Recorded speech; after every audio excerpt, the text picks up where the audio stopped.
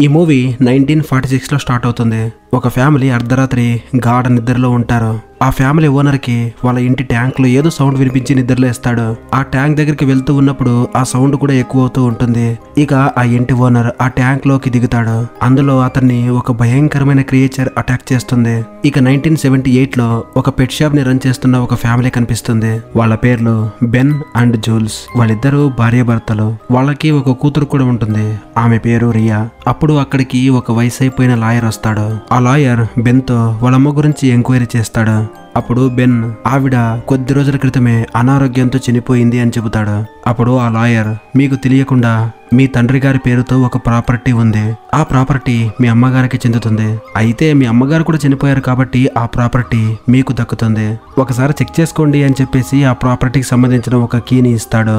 Actually Ben వాళ్ళమ్మ ఆ property గురించి బెన్తో ఎప్పుడు డిస్కస్ చేయలేదు. ఇక లాయర్ వెళ్తూ వెళ్తూ మీ తండ్రి గారు అలాగే మీ అక్క ఎలా చనిపోయారో మీకు తెలుసా? అని చెప్పేసి అడుగుతాడు. అందుకు బెన్ నా చిన్నప్పుడే వాళ్ళు యాక్సిడెంట్లో పోయారు అని చెప్పేసి మా అమ్మ చెప్పింది అంటాడు. అందుకు లాయర్ మీ నాన్నగారు మీ అక్క యాక్సిడెంట్లో చనిపోలేదు. వాళ్ళు కనిపించకుండా పోయారు. దాని గురించి న్యూస్ పేపర్లో కూడా రాశారు అని చెబుతాడు. అందుకు బెన్ మా అమ్మ నాతో ఎందుకు అబద్ధం చెప్పింది? అని చెప్పేసి దాని గురించి ఆలోచిస్తూ బాధపడతాడు. మరుసటి రోజు బెన్ వాళ్ళ ఫ్యామిలీ ఆ ప్రాపర్టీ దగ్గరికి వెళ్తారు. అలా వాళ్ళు ఆ ప్రాపర్టీ దగ్గరికి వచ్చిన తర్వాత అక్కడ డేంజర్ స్టే అవుట్ అనే బోర్డు కనిపిస్తుంది. అయితే వాళ్ళు ఆ బోర్డుని గమనించకుండా వెళ్ళిపోతారు. ఆ ప్లేస్కి వెళ్ళిన తర్వాత అక్కడ కొన్ని సంవత్సరాలుగా మూతబడిపోయిన ఒక ఇల్లు కనిపిస్తుంది.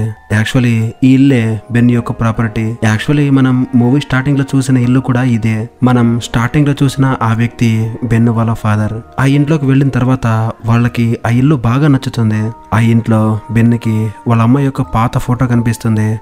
ఆ ఫోటోని చూసిన తర్వాత ఈ ఇల్లు మాదే అని చెప్పేసి బెనికి నమ్మకం వస్తుంది. ఇంటి వెనకాల ఉన్న బీచ్ని గమనించిన జూల్స్ బెనికి కూడా ఆ బీచ్ని చూపిస్తుంది. ఆ బీచ్ని చూసి వాళ్ళిద్దరూ చాలా సంతోషపడతారు. ఆ ఇంటి బయట ఒక ట్యాంక్ ఉండడం గమనించిన బెన్ వద్దన్నా కూడా అందులోకి వెళ్తాడు. ఆ ట్యాంక్ లోపల నీళ్ళు ఉండవు. ఇక ఇంట్లోకి వచ్చిన తర్వాత అక్కడ బెన్కి వాళ్ళమ్మ వాళ్ళ అక్క ఉన్న ఫోటో కనిపిస్తుంది.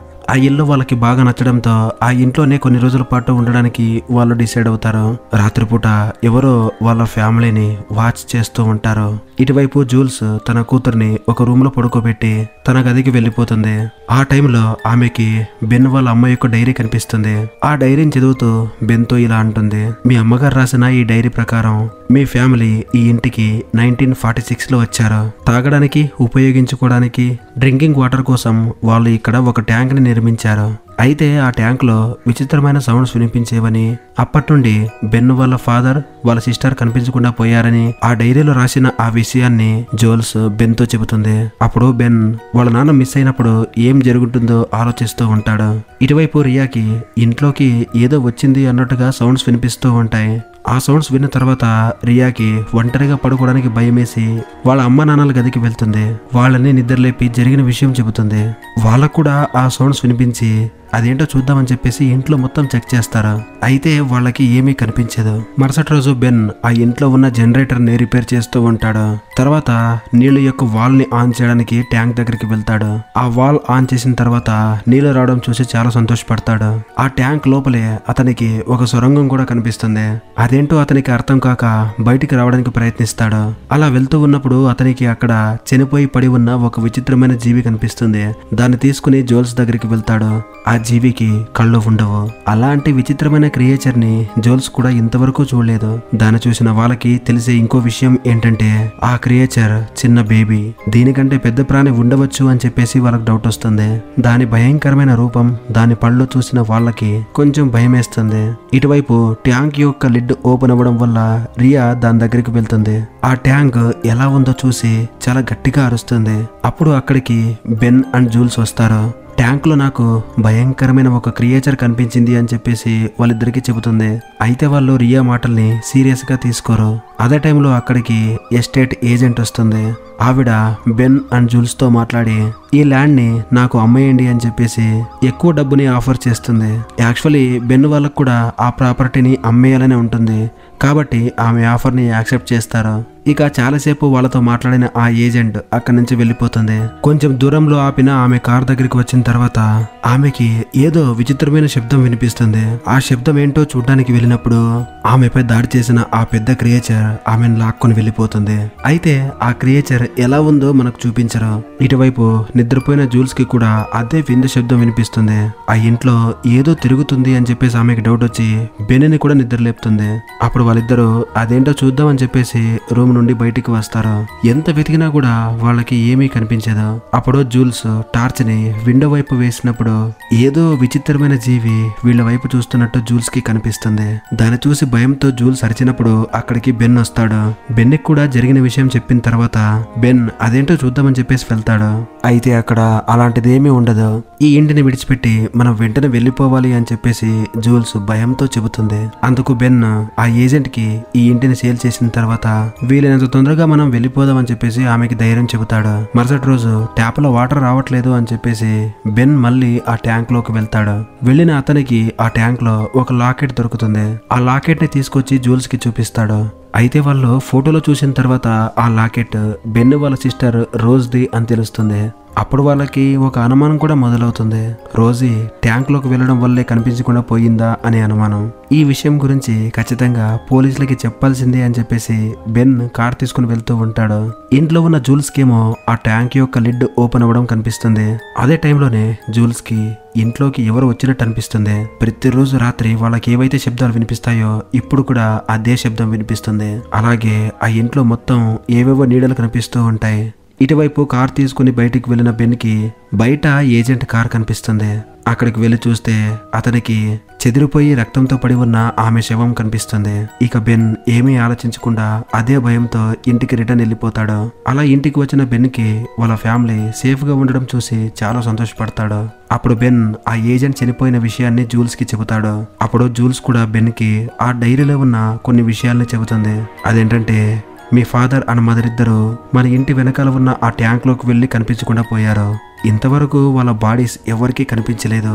మీ అమ్మగారికి ఈ ఇంట్లో ఏదో ఉంది అని తెలిసే ఉంటుంది. దాని ద్వారా వాళ్ళకి డేంజర్ ఉంది అని తెలిసి నువ్వు ఎట్టి పరిస్థితుల్లో ఇటువైపు రాకూడదు అని చెప్పేసి నీకు ఈ ఇంటి గురించి చెప్పలేదు. ఈ విషయం తెలిసిన బెన్ మనం ఒక్క క్షణం కూడా ఇక్కడ ఉండకూడదు అని చెప్పేసి లగేజ్ ప్యాక్ చేసుకోవాలి అనుకుంటారు. ఇక ఏజెంట్ చనిపోవడం చూసి రేడియో ద్వారా ఆ విషయాన్ని పోలీసులకు కూడా చెబుతాడు.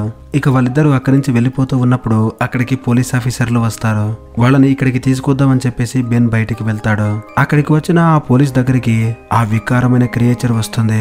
దాన్ని చూసి పోలీస్ భయపడి గన్ని తీసుకోవడానికి ట్రై చేస్తాడు. అప్పుడు వెంటనే ఆ క్రియేచర్ ఆ పోలీస్ పై దాడి చేసి అతన్ని లాక్కుని వెళ్ళిపోతుంది. అదే టైంలో అక్కడికి వచ్చిన ఆ బెన్కి ఆ పోలీస్ ఆఫీసర్ యొక్క భయంకరమైన అరుపులు వినిపిస్తాయి. వెళ్ళి చూస్తే ఆ క్రియేచర్ ఆ పోలీస్ని లాక్కుని వెళ్తూ ఉంటుంది. దాన్ని చూసి బెన్ కూడా చాలా భయపడతాడు. ఎలాగో ఆ ఆఫీసర్ని కాపాడడం బెన్కి అవ్వలేదు. ఇక నా ఫ్యామిలీనైనా కాపాడదామని చెప్పేసి వెంటనే అక్కడికి వెళ్తాడు. ఇంటికి వెళ్ళిన బెన్ జూలుస్తో జరిగిందంతా చెప్పి రెప్టైల్ జాతికి చెందిన ఆ క్రియేచర్ గురించి కూడా చెబుతాడు. ఈ క్రియేచర్స్ ఆ ట్యాంక్లో ఉన్న ఆ స్వరంగం ద్వారా ఇక్కడికి వస్తున్నాయి అని వాళ్ళకి అర్థమవుతుంది. ఆ స్వరంగాన్ని శాశ్వతంగా మనం మూసేస్తేనే ఇక్కడ నుంచి వెళ్ళగలం అని చెప్పేసి బెన్ ఆ స్వరంగం దారిని బ్లాస్ట్ చేయడానికి గ్యాస్ లిక్విడ్ని తీసుకెళ్తాడు. అలా ట్యాంక్లోకి వెళ్ళిన బెన్కి అక్కడ ఆ పోలీస్ శవం అలాగే ఆ క్రియేచర్స్ కూడా కనిపిస్తాయి. ఆ క్రియేచర్స్కి కళ్ళు ఉండవు. కేవలం శబ్దం ద్వారానే దాడి చేస్తాయి. చూడటానికి చాలా భయంకరంగా కూడా ఉంటాయి. తర్వాత సొరంగంలోకి వెళ్ళిన బెన్ ఆ దారిని బ్లాస్ట్ చేస్తాడు. అయితే ఆ సొరంగంలో ఉన్న క్రియేచర్స్ అన్ని లాక్ అయిపోతాయి. కాకపోతే ట్యాంక్లో ఉన్న ఆ క్రియేచర్స్ బెన్ పై అటాక్ చేస్తాయి. అదే టైంలో ఇంట్లోకి చొరబడిన ఒక క్రియేచర్ రియాని ఎత్తుకెళ్తుంది. జూల్స్ ఎంత ప్రయత్నించినా కూడా రియాని కాపాడడం ఆమె వల్ల కాలేదు. ఇటువైపు బెన్ టార్చ్ ద్వారానే ఆ క్రియేచర్స్ని కొట్టి చంపి తన ప్రాణాల్ని కాపాడుకుని బయటికి వస్తాడు. యాక్చువల్లీ బెన్ చనిపోయే స్టేజ్లోకి వెళ్ళిపోయి ఉంటాడు. అదే టైంలో ఆ క్రియేచర్ రియాని ట్యాంక్ లోపలికి లాక్కుని వెళ్తూ ఉంటుంది.